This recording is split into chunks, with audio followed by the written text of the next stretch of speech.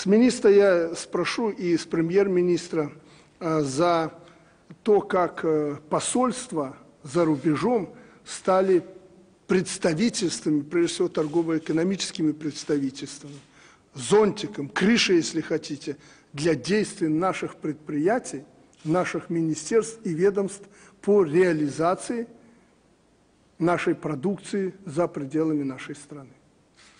И конкретный пример. Я, я уже об этом публично высказался, хочу конкретизировать. Сегодня, естественно, у нас сложились связи э, с э, неприличными действиями этих негодяев российских, э, у нас сложились э, определенные проблемы с реализацией калийных удобрений. Вопрос не только потому, что это наша основная компания, хотя это не основной налогоплательщик, но очень крупный.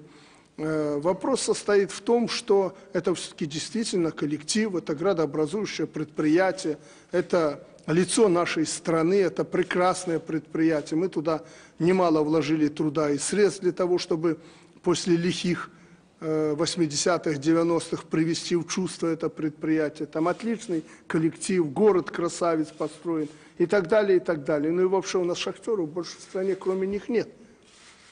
С любой стороны, с какой ни подойди, это ценность для нашего государства.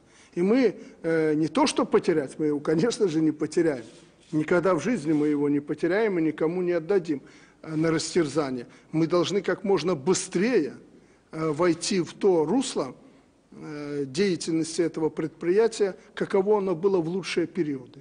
А лучшие периоды вы знаете, что больше трех миллиардов долларов э, дохода получала страна от реализации калийных удобрений. Понятно, что рынок сейчас непростой, он до обвала был сложным, потому что экономика в кризисе э, мировая, а действия акционеров со стороны Уралкали еще больше осложнили ситуацию на международном рынке Э, калийных удобрений.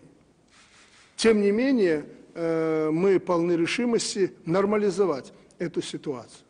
Я почему-то убежден, что и россияне э, примут соответствующее решение, и руководство России такую мощную кампанию российскую без внимания не бросит. Рано или поздно для того, чтобы восстановить статус-кво и то, что было ранее, они придут к нам. По крайней мере, мы не против того, чтобы э, работать так, чтобы были большие доходы. Что для этого надо сделать, вполне понятно. Я это все говорю к тому, что вот эту проблему надо решать э, сегодня. И я надеюсь, что Министерство иностранных дел, выполняя мои поручения, которые я дал им еще около э, трех недель тому назад, интенсивно в этом направлении работает.